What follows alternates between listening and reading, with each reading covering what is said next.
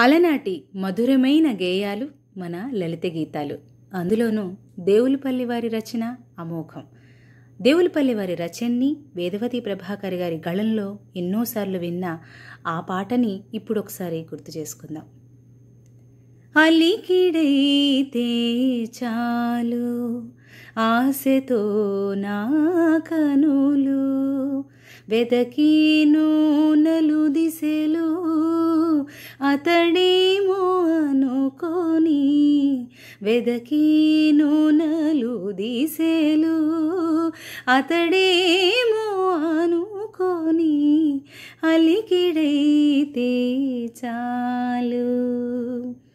రోజాలు కోయగా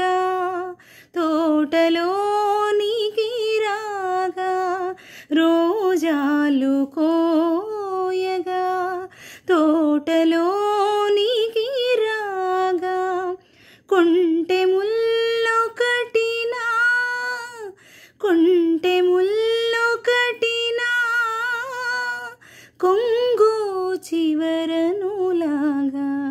వెదకీను నలు దిశలు అతడేమో అనుకొని వెదకీను నలు దిశలు అతడేమో అనుకొని అలికిడైతే చాలు.